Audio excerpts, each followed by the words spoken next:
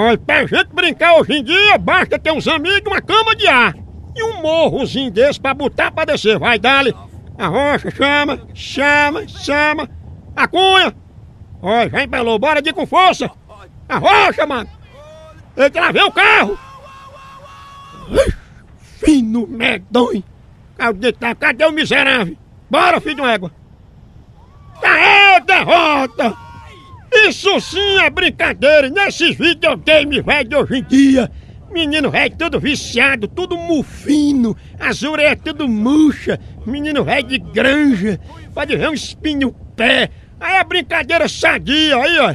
De ladeira abaixo. O carro vem, testa o freio, ó. ó.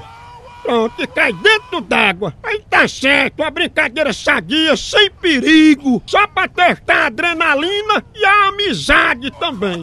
É quando fica com o bucho velho cheio de verme.